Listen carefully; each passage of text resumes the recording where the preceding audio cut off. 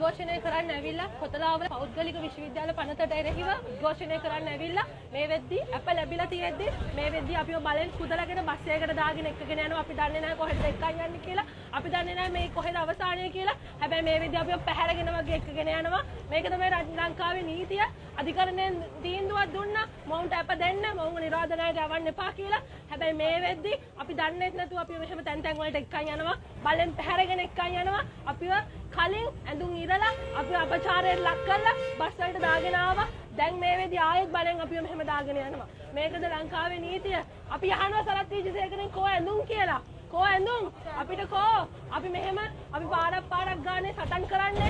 අපි මෙහෙම කෑ ගහන්නේ. මේ අපි මේ අපි හැමෝගෙම ඉන්න දරුවන්ගේ එහෙම නැත්නම් අනාගත අධ්‍යාපනය වෙනුවෙන් මේ නැති කරමින් ඉන්න එක හෙට සල්ලි දීලා ඉගෙන ගන්නනොත් කාටද පුළුවන් එහෙම ඉගෙන ගන්න?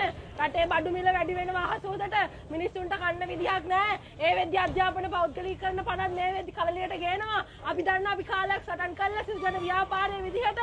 සයිතම හොසි කරා. හැබැයි මේ වෙද්දි මොකද්ද මේ කියන්නේ යන්නේ? විශ්වවිද්‍යාල වහලා තියෙනවා. සෞඛ්‍යාංශ වලට නැත්තම් කම්කරු අංශ වලට අරගල කරන්න බෑ හිරේ දානවා. එහෙම තත්ත්වයක් ඇතුළතදී මේ වෙද්දි මිලිටරිකරණය පාවිච්චි කළා මිලිටරිකරණ මුවාවෙන් මේ විදිහට අධ්‍යාපන පෞද්ගලීකරණ පනත් ගෙන ඉතින් අපි කියනවා මේ හිරේ දාලා නිල වශයෙන් හිරේ දාන්න නැති වුණාට මේ විදිහට අපිව කොටු කරලා මේවා නවත්තන්න බෑ. අපි දන්නවා දවස් 14ක් යාවි.